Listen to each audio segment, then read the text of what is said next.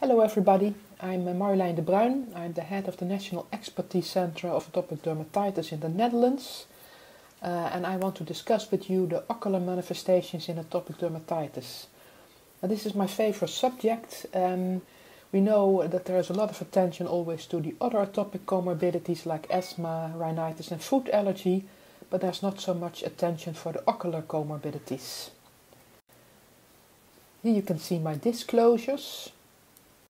When we look in the literature, we see that the reported incidence of ocular involvement in AD is 25 to 42 percent. And these are numbers coming from studies from 2014 to 2017. Um, and in the last years, we see an uh, increased interest in um, atopic comorbidities, and that's mainly uh, related to the introduction of dupilumab, and I will come to that later in my presentation. Here you can see the baseline characteristics of the Eurostat study, and this is a study uh, in moderate to severe atopic dermatitis patients who were treated with systemic immunosuppressive treatment. And what we can see in this study that more than 50% of the patients report ocular comorbidities. And in this slide you see um, the atopic comorbidities in our BioDay registry in a cohort of 210 patients who, was, who were treated with dupilumab for 52 weeks. And when we look at the conjunctivitis and atopic conjunctivitis together, we see that 60% of the patients report ocular comorbidities, and that's more or less comparable, comparable with allergic rhinitis and asthma. Now I want to focus on the different types of ocular comorbidities that we see in our atopic dermatitis patients.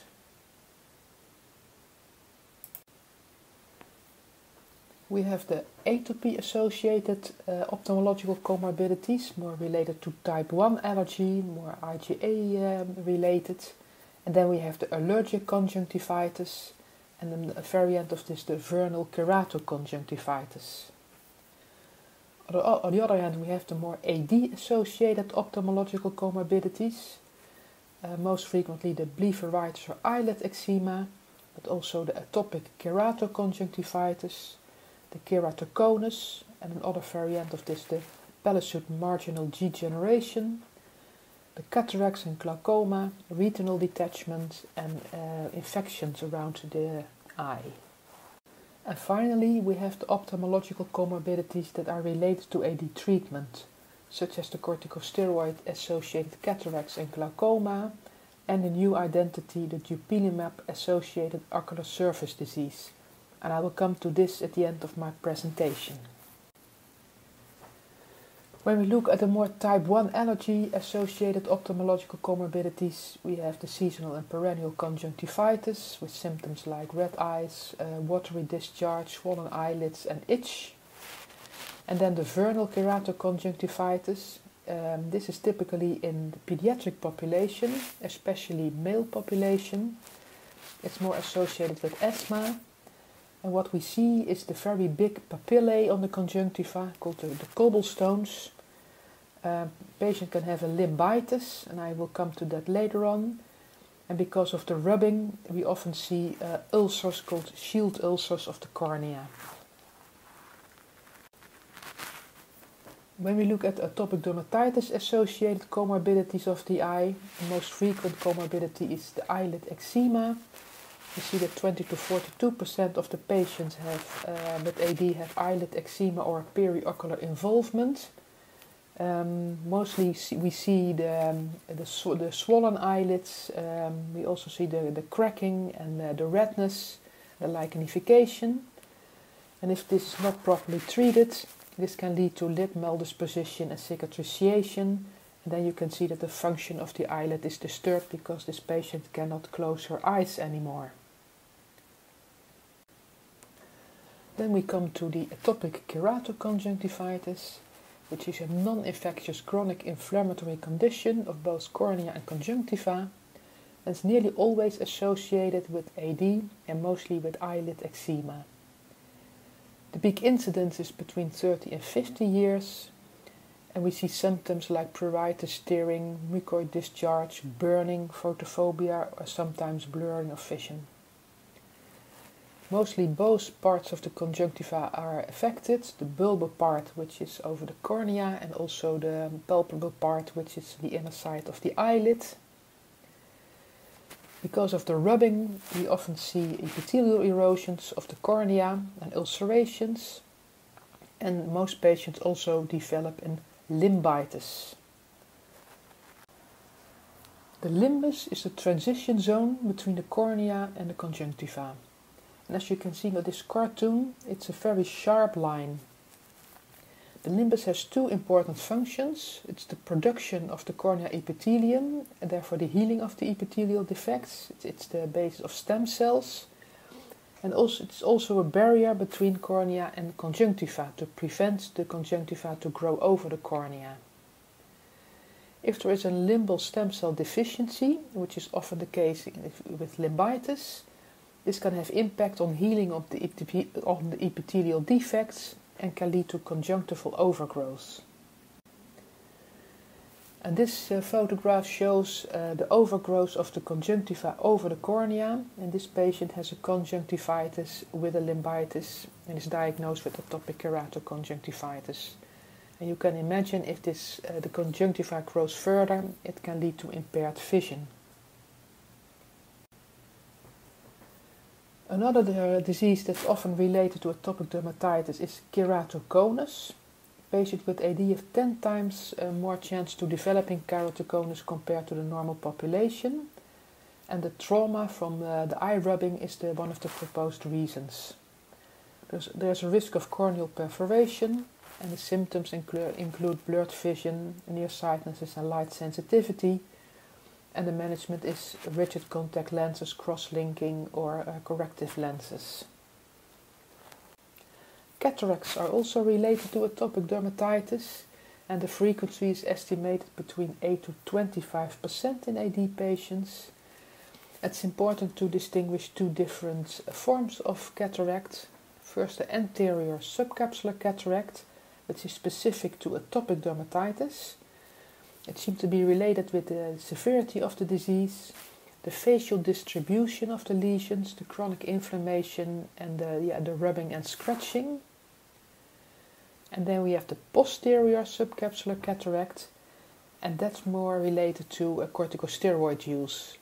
So an ophthalmologist can uh, distinguish whether the cataract is um, caused by the AD itself or the corticosteroids. Sometimes cataracts are asymptomatic, sometimes patients have photophobia or impaired vision. Retinal detachment is, all, is also related to atopic dermatitis. Um, patients are more at risk to develop this, and in AD patients, the retinal detachment is more likely to occur bilaterally uh, compared to a patient without atopic dermatitis. And again, the risk factor include the facial and periocular AD involvement and the rubbing. So with all these conditions, you see that proper treatment of facial AD and AD around the eyes is very important to prevent such, um, such comorbidities. The typical symptoms are, well, the flashes of light, the floaters, and it feeling like a curtain falling down or the, over the visual field. And now finally we have the infections around the eye. Uh, we often see bacterial infections caused by Staphylococcus aureus with symptoms like redness, crusting and uh, hyperemia. But more importantly, of course, the herpetic infections. Several studies have reported an association between atopic dermatitis and herpetic eye disease. But we also see that AD patients present with more severe ocular herpes simplex infection and in the right picture, you see the typical ulcers that we see um, in patients with corneal inv involvement um, after herpes infections. Well, after, after this theoretical base, I want to show you uh, two cases from my clinical practice in which the collaboration with the ophthalmologist is very important. The first patient is a male patient of 36 years old he has atopic dermatitis since early childhood and also had asthma and rhinitis. It's difficult to treat AD, especially on the eyelids and around the eyes. It's very itchy, so he rubs a lot. And what we see is this. a severe AD uh, on the eyelids and around the eye. And for me, this is a reason to consult uh, the ophthalmologist, especially because of the, the rubbing. Well, the ophthalmologist uh, sees uh, sclerosis of the conjunctiva on the palpebral side. You see, it, it's not nicely red, but it's uh, somewhat whitish. And on the right picture, you see uh, what we call symblepharon, and that's the attachment between the palpebral and bulbar conjunctiva. And also on the lower side, you see that the conjunctiva is more or less, more or less white and it seems to be some sclerosis already on the conjunctiva. So this is a really abnormal situation and in part also irre irreversible. And another important issue that was diagnosed uh, at the ophthalmologist was the central retinitis serosa. And this is a condition in which there is fluid under the retina. Um, this is mostly related to corticosteroid use and especially in um, the high uh, responder patients, and that's about 3 to 5% of the patients who have an extreme reaction to topical steroids, this can be um, um, a threat to the vision. When we look at the management of the ophthalmologist, she had a problem because she cannot use uh, steroids in the eye or around the eyes because of the central retinitis, retinitis serosa.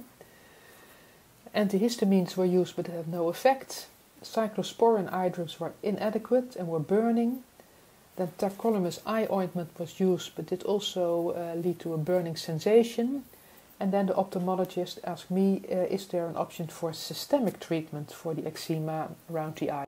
So in this patient, we decided to start cyclosporin, um, although the patient had a very low EASI score because of his severe AD around the eyes. We started with 5 mg per kilogram with a maintenance dose of 3.5 mg per kilogram and with this treatment his AD was in remission. So this case illustrates how important it is to uh, consult an ophthalmologist when there is a uh, chronic eyelid eczema. Then we go to the second case, which is a male patient of 47 years old, also AD since early childhood. He's atopic but he did not have a history of ophthalmological problems and he has comorbidity has hypertension. He was treated with uh, potent topical steroids, UV light, he had multiple courses of oral steroids. He was treated with omalizumab for his asthma with some effect on AD, but this was discontinued already. And methotrexate did not have effect and he was contraindicated for cyclosporin because of his hypertension. We started uh, dupilumab 300 milligram every two weeks in this patient. And that resulted in an adequate response uh, for his eczema. He had an EASI score below 7. But two weeks after the start of dupilumab, he reported dry eyes, and this was treated with artificial tears. Eight weeks later, he still had itchy burning eyes and tearing. And then we started protopic 0.1% on the eyelids two times a day. And it has some effect on his uh, symptoms. But finally, 16 weeks after starting dupilumab, he was referred to an ophthalmologist because his symptoms were persistent. Also, during the ophthalmologist consultation, the patient um, reported that he did not have a history of ocular symptoms before the start of the dupilumab. His vision was normal, he had a blepharitis with a mild obstruction of the meibomian glands. He had a bulbar and tarsal conjunctivitis, and he also had a moderate limbitis. And when we look at the eyes of this patient, you see the conjunctivitis with the redness and the vessels, and you also see the overgrowth of the conjunctiva over the cornea. And in the right upper side with the, uh, the, yellow arrow, you see that the, the margin between conjunctiva and cornea is not sharp anymore. It's a, it's a little bit edema there, and um, you can also see the overgrowth. When we look at the management of the ophthalmologist, we see a continuation of the lubricant eye drops. Uh, antihistamine eye drops were added, but also tacrolimus eye ointment two times a day in the eye and that resulted in a stabilized clinical appearance with no inflammation but a persistent reduced limbal integrity. So this is an irreversible situation. So what you can see in this picture is that the signs of the conjunctivitis are gone, but there are still an overgrowth of conjunctivitis over the cornea, and this is an irreversible situation. Uh, this will not lead to uh, um, impaired vision in this patient, but you can imagine that if this process goes on, this can lead to impaired vision. And then finally, I want to discuss the dupilumab associated ocular surface disease, which is a kind of new diagnosis since dupilumab came on the market. Conjunctivitis was studied in um, clinical trials with dupilumab. Uh, analysis of pooled data of 11 randomized controlled trials with dupilumab in different indications showed a higher incidence of, of conjunctivitis in the dupilumab groups versus placebo group only in the AD indication and not in the other indications. What we can also see that the conjunctivitis frequency during dupilumab in daily practice in AD is even higher, up to one third of the patients. To reveal a possible mechanism, uh, we performed a small pilot study in our center in patients um, with atopic dermatitis who were treated with dupilumab and developed new onset ophthalmological symptoms or had a worsening of their symptoms. And in those patients, we performed a um, conjunctival biopsy and then we stained it. And what we found is that there was a scarcity of intraepithelial goblet cells in the patients. What you can see on the upper left picture, the blue cells represent the goblet cells and they should be all over the epithelium. Goblet cells are important mucus producing cells, and mucus is important for the epithelial barrier function of the conjunctiva. But goblet cells are also important immunoregulatory cells, and what you can see in the left, uh, left bottom picture is that some patients did not have any goblet cells left. What we also found was an uh, inflammatory cell infiltrate in the stroma but also in the epithelium, consisting of T cells and eosinophils, and the eosinophils seems to be in a resting state. Well, this uh, hist histopathology uh, cannot be linked to, an, a norm, to a known diagnosis because in rosacea conjunctivitis you don't see eosinophils and in uh, allergic conjunctivitis you see a lot of goblet cells. So this seems to be a new picture. To further study the inf infiltrating cells we use a novel technique called tissue CyTOF and this, uh, this technique combines the high resolution laser ablation with immunohistochemistry and that enables to stain for more than 35 markers. We used this new technique in our biopsies and we compared uh, an area of the biopsy with a very dense infiltrate with an area with a less dense infiltrate and, and the healthy controls. And what we found is represented by the yellow bars that especially in the dense infiltrate we see a high concentration of uh, interferon gamma, TNF alpha, IL-17 and IL-10. And when we look at the right side, we see also high levels of granzyme B, and granzyme B is a marker for cytotoxicity. So based on these results, uh, we made an hypothesis of course, it needs to be explored in, uh, new prospective studies. Dupilumab can lead to reduced production of IL-13 and thereby have effect on the goblet cells.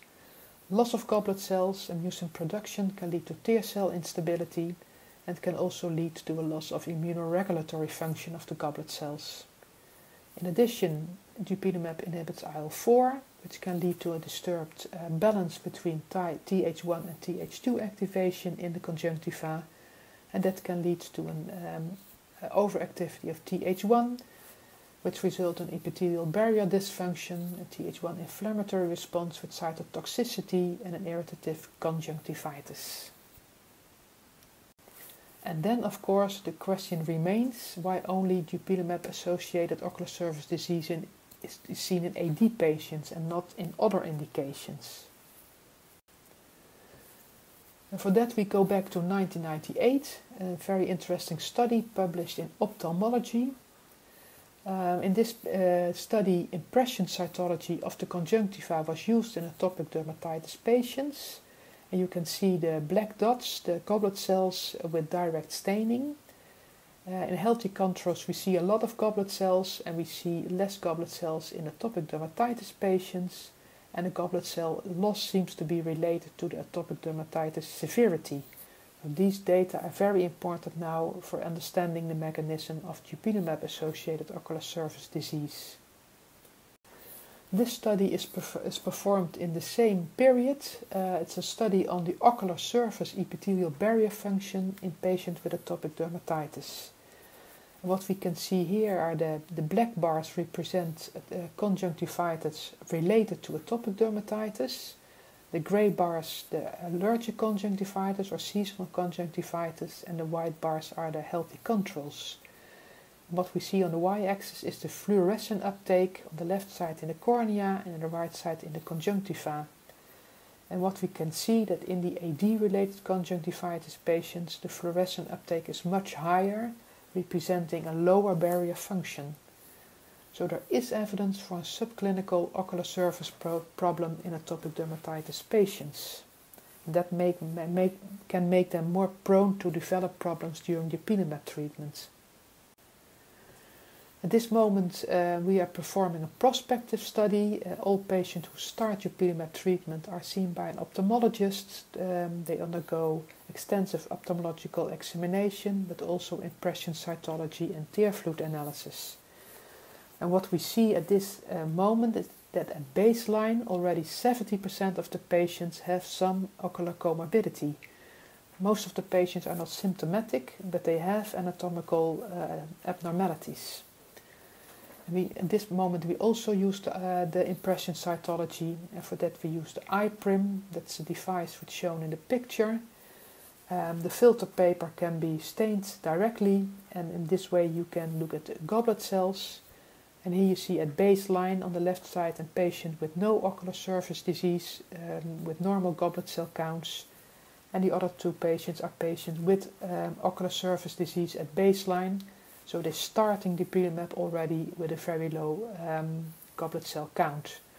So it's very important to uh, prospectively follow this patient and what happens uh, during dupilumab treatment. Then we come to the summary. I hope that I've shown to you that close collaboration with an ophthalmologist is very important when you treat moderate to severe AD patients. AD patients with acute eye pain or vision loss should of course be referred immediately to an ophthalmologist, but also patients with severe AD without those symptoms, but especially with facial involvement and eyelid eczema, should be referred to an ophthalmologist for extensive eye examination. And as with other comorbidities, ocular diseases require a multidisciplinary approach, and by early recognition of ophthalmological, ophthalmological pathology, uh, the dermatologist can prevent the potential sight-threatening ocular complications. Beware of ophthalmological symptoms during dupilumab. You have to ask for the eye symptoms every visit. The patient is very glad that his skin goes better, so he will not mention the symptoms by him or herself. In case of mild symptoms, start artificial tears and, and possibly protopic ointment on the eyelids. And if that's not enough, refer to an ophthalmologist for anti-inflammatory treatment in the eye. And in very treatment resistant cases, consider consultation of a cornea specialist. And with this, I want to thank you very much uh, for your attention.